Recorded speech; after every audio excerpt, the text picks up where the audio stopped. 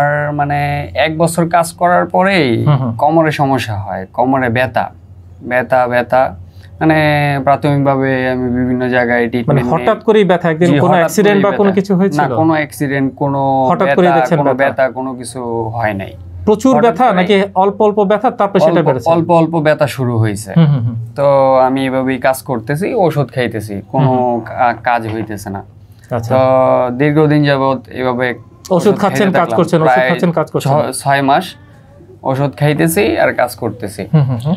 শেষ পর্যন্ত দেখা যাচ্ছে অবস্থা বেশি খারাপ। তো এইভাবে অনেকদিন যাওয়ার পরে এই কয়েকদিন কয়েকদিন আগেই এখানে ডিপিআরসি হসপিটাল এটা সন্ধান এটা সন্ধান পাই।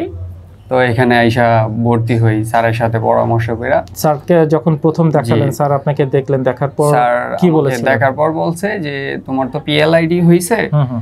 তো তিনটা ডিক্সের সমস্যা। তো আল্লাহর মধ্যে তুমি ভালো হয়ে যাওয়া পনেরো থেকে বিশ দিন থাকতে হবে। তো এখন আমি আল্লাহর রহমতে ডক্টর শফিউল্লাহ প্রধান স্যারের উসিলায় এখন আমি ফুল সুস্থ। আপনার সেই কোমরের ব্যথা দীর্ঘক্ষণ দাঁড়িয়ে থাকলে যে ব্যথা বা একটু কাজ করলে যে ব্যথা শুরু হতো? এখন সেই ব্যথাটা নাই। আলহামদুলিল্লাহ। আলহামদুলিল্লাহ আল্লাহর রহমতে এখন আমি অনেক সুস্থ। তো আমার পনেরো দিনও হয় নাই। হ্যাঁ। আমার মাত্র চোদ্দ দিন হয়েছে। চোদ্দ দিনে আল্লাহর রহমতে আমি এখন ভালো।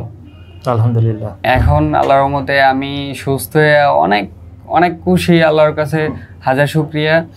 তারপরে ডক্টর মোহাম্মদ শফিউল্লাহ প্রধান স্যারকে আল্লাহ হায়াত বাড়ায় দেওক ওনার উসিলায় আমি ভালো হইতে পারছি।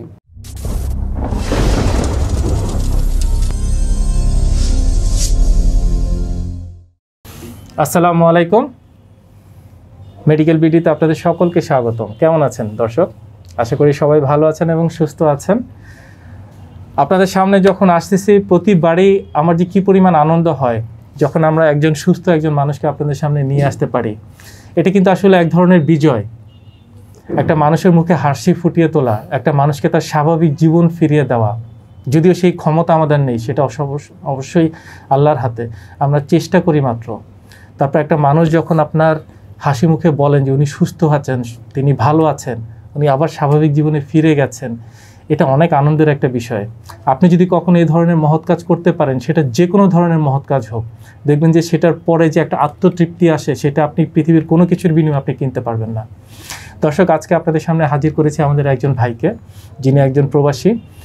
যে প্রবাসী ভাইরা দিনের পর দিন আমাদের দেশের জন্য সবচেয়ে গুরুত্বপূর্ণ যে রেমিটেন্স সেটার যোগান দিয়ে থাকেন, নিজেদের ভালোবাসা, নিজেদের সকল আনন্দ সব কিছুকে ত্যাগ করে, দেশের মায়া ত্যাগ করে, আত্মীয় স্বজনের মায়া ত্যাগ করে তারা সেই প্রবাস জীবনে গিয়ে তারা অনেক কষ্ট করে আমাদের এই দেশের জন্য তারা এই রেমিটেন্সের তারা যোগান দিয়ে থাকেন। এটার জন্য তাদেরকে অনেক কষ্ট স্বীকার করতে হয়। তারপরে তারা চেষ্টা করেন যে আমাদের দেশের যে মানুষরা আছেন আত্মীয় স্বজন আছেন, পরিবার পরিজন আছেন, তাদের মুখে শুধুমাত্র একটু হাসি ফুটিয়ে তোলার জন্য। কিন্তু এই হাসিটা ফুটিয়ে তুলতে গিয়ে তারা নিজেরাও দেখা যাচ্ছে মাঝে মাঝে এমন কিছু বিপদে পড়ে যান, এমন কিছু সমস্যায় পড়ে যান, এমন কিছু রোগে আক্রান্ত হয়ে যান, যেটার কারণে তাদের মুখের হাসিও একটা সময় চলে যায়। তারা নিজেরাই এত বেশি অসুস্থ হয়ে যান যে তাদের পরিবারের মুখে তারা কি হাসি ফুটে তুলবেন সেটা নিয়ে তাদের দুশ্চিন্তা পড়ে যেতে হয়। দর্শক, আমরা চাই না এই ধরনের ঘটনার সম্মুখীন আমাদের কোনো ভাই, বোন, মা কেউ কখনো পড়ুক। সবাই সুস্থ থাকুক, ভালো থাকুক। সঠিক কিছু নিয়ম আছে, সেই নিয়মগুলো আমরা যদি মেনে চলতে পারি আমরা ইনশাল্লাহ সবাই সুস্থ থাকতে পারি এবং সঠিক কিছু চিকিৎসা আছে। যে চিকিৎসাগুলো যদি আমরা সঠিক সময় গ্রহণ করতে পারি এই ধরনের বিপর্যয়ের মুখোমুখি আমাদেরকে আসলে হতে হবে না। দর্শক ঠিক তেমনি আমাদের একজন ভাইকে আজকে আপনাদের সামনে এনে হাজির করেছি। যিনি এই ধরনের সমস্যাটা পড়েছিলেন। কি হয়েছিল? আসলে একটু ওনার মুখ থেকে প্রথম থেকে শেষ পর্যন্ত আমরা একটু জানি। আসসালামু আলাইকুম। ওয়ালাইকুম আপনার নামটা যদি একটু বলেন। আমার নাম মোহাম্মদ আরাফাত মিয়া। আরাফাত মিয়া। কোথায়? বাংলাদেশে বা কোথায় বাড়ি? জি আমার বাংলাদেশে ময়মনসিং নান্দেল থানা। নান্দাইল থানা। খুব বিখ্যাত একটি জায়গা নান্দাইল। আমাদের দর্শকদের জন্য যদি বলেন আমরা জানি আপনি প্রবাসী ছিলেন কোন দেশে ছিলেন? জি আমি মালয়েশিয়াতে ছিলাম। মালয়েশিয়াতে। কত বছর? বেশি দিন থাকতে পারি নাই আমি ছিলাম দেড় বছর। দেড় বছর? জি। আচ্ছা কি হয়েছিল আপনার? আমার মানে এক বছর কাজ করার পরেই। কোমরে সমস্যা হয় কোমরে ব্যথা। ব্যথা ব্যথা। মানে প্রাথমিকভাবে আমি বিভিন্ন জায়গায় মানে হঠাৎ করেই ব্যথা একদিন কোনো অ্যাক্সিডেন্ট বা কোনো। কিছু না কোনো অ্যাক্সিডেন্ট কোনো হঠাৎ করে দেখছেন কোনো ব্যথা? কোনো কিছু হয় নাই প্রচুর ব্যথা নাকি অল্প অল্প ব্যথা তারপরে সেটা বেড়েছে অল্প অল্প ব্যথা শুরু হয়েছে। তো আমি এভাবেই কাজ করতেছি ওষুধ খাইতেছি কোনো কাজ হইতেছে না আচ্ছা তো দীর্ঘদিন যাবত এভাবে ওষুধ খাচ্ছেন, কাজ। করছেন, ওষুধ খাচ্ছেন, কাজ করছেন। ছয় মাস ওষুধ খাইতেছি আর কাজ করতেছি শেষ পর্যন্ত দেখা যাচ্ছে অবস্থা বেশি খারাপ। আর আমি থাকতে পারতেছি না। মানে কি খারাপ? একদম বিছানায় মানে- পড়ে গেছেন বিছানা থেকে উঠতে পারছেন না বাথরুমে যেতে কাজ করতে পারতেছি না। ব্যথার যন্ত্রণা করতে পারি না আমি একটু বাড়ি কাজ করতাম কাজ করতে পারি না। তো মানে এই দাঁড়িয়ে থাকলে বা কিছু হ্যাঁ, নিলেই হ্যাঁ, দেখছেন প্রচণ্ড নিলেই পেন শুরু হয়ে যাচ্ছে। পেন শুরু হয়ে যায় ব্যথা অনেক ব্যথা লাগে তারপরে উরদগুলা ব্যথা হয় বেশি। আচ্ছা। এই কারণে পরে দেশে আসি।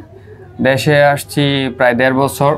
দেড় বছর যাবৎ বিভিন্ন জায়গায় ট্রিটমেন্ট নিতেছি। আচ্ছা। বিভিন্ন ডাক্তার ভালো ভালো কয়েকজন ডাক্তার আছে। ডাক্তারগুলা দেখানো হয়েছে। মানে আপনার গ্রামেও দেখিয়েছেন আবার ঢাকাতেও দেখাইছি ঢাকা দেখাইছি। বিভিন্ন জায়গায় দেখাইছি মানে বেশ বড় বড় কিছু জায়গায় আপনি ডক্টর দেখিয়েছেন। বড় বড় doctor তারা কি বলেছেন? তাদের ওপিনিয়ন কি ছিল? ওরা বলছে যে তোমার রগটা হালকা একটু চেপে গেছে। এটা তেমন সমস্যা না। হুম। কিন্তু আমার তো সমস্যা আমার কাছে আপনি বুঝতে পারছেন। আমার তো সমস্যা আমার কাছে বেশি লাগতেছে। আমি কোনো কোনো কিছু করতে পারতেছি না কোনো কাজ করি না তারপরেও আমার সমস্যা দিন দিন বাড়তেই আছে। ওরা যে ওষুধ দিতেছে ওরা বলতেছে হাঁটতে শেক দিতে। আমি এগুলো করতেছি আমার কোনো উপকার পাচ্ছেন কোনো। উপকার পাচ্ছি না কিন্তু দিন দিন বাড়তেছে সমস্যাটা। আরও খারাপের দিকে যাচ্ছে খারাপের দিকে যাচ্ছে।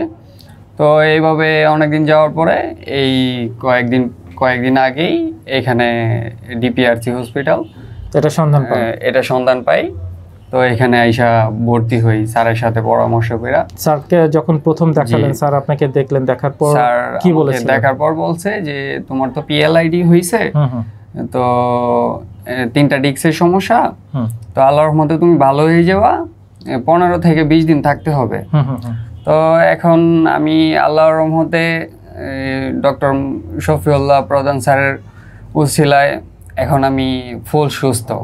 আপনার সেই কোমরের ব্যথা দীর্ঘক্ষণ দাঁড়িয়ে থাকলে যে ব্যথা বা একটু কাজ করলে যে ব্যথা শুরু হতো। এখন সেই ব্যথাটা নাই। আলহামদুলিল্লাহ।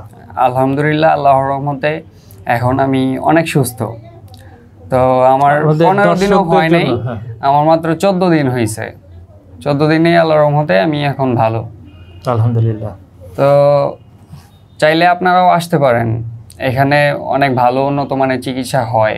আমি যে চিকিৎসাগুলো নিয়েছি আমি ভালো পাইছি আচ্ছা আমাদেরকে যদি একটু পেছন ফিরে তাকাই যদি একটু বলি যখন ডক্টরের কাছে যাচ্ছেন ট্রিটমেন্ট নিচ্ছেন ভালো হচ্ছেন না। আপনার বয়সও কিন্তু আসলে খুবই কম। খুব কম। খুব ইয়াং একটা মানুষ। চিকিৎসা নিচ্ছেন ভালো হচ্ছে না দীর্ঘক্ষণ একটা ব্যথা বয়ে বেড়াতে হচ্ছে সেই সময়গুলো কষ্ট হতো খুব কষ্ট মানে খুব খারাপ লাগতো নিজের কাছে যে আমি কি করব কি করে খাব সারা জীবন পড়ে একটা অবস্থা আমি যদি সুস্থ না হইতে পারি আমি কি করব?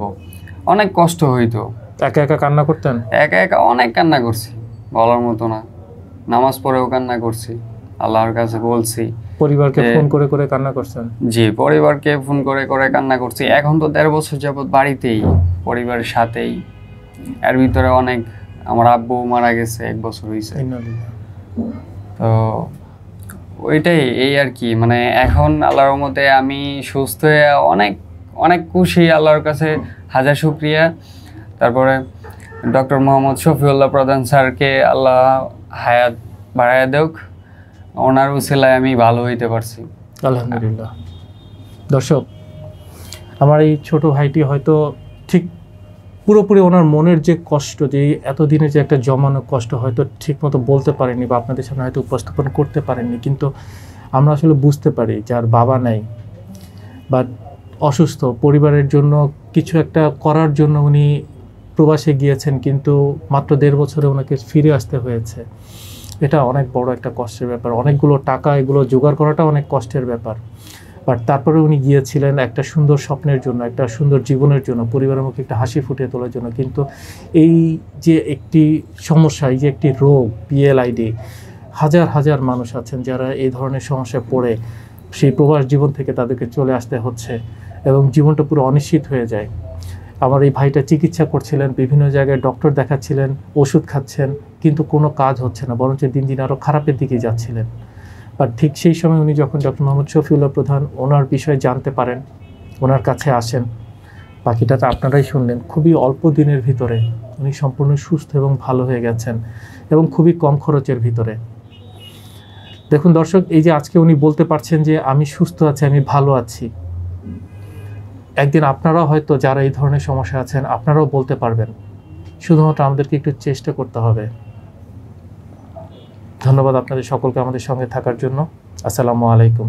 আপনাকে অসংখ্য অসংখ্য ধন্যবাদ। আসসালামু আলাইকুম। ওয়ালাইকুম আসসালাম।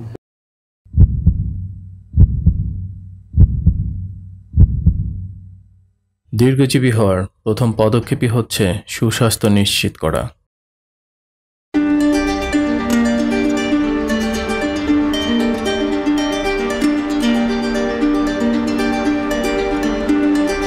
দেহ ও মন ভালো থাকলেই ভালো থাকে স্বাস্থ্য।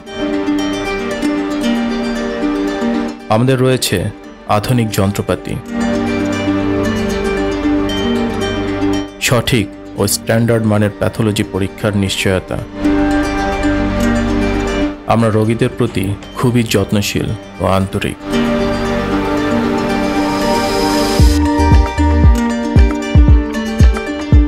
আমরা সর্বপ্রথম প্রতিটি রোগীর সঠিক রোগ নির্ণয় করি, এরপর রোগ অনুযায়ী অপারেশনবিহীন চিকিৎসা দিয়ে থাকি।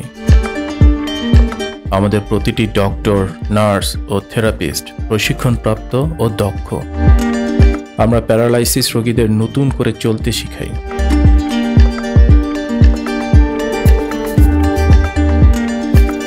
আমরা আপনাকে সর্বোচ্চ মানসম্মত আধুনিক চিকিৎসা সেবা প্রদানের নিশ্চয়তা দিচ্ছি।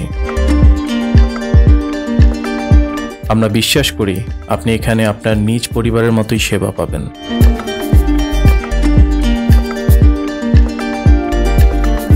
বাত ব্যথা প্যারালাইসিস ও আর্থ্রাইটিসের একটি নির্ভরযোগ্য প্রতিষ্ঠান।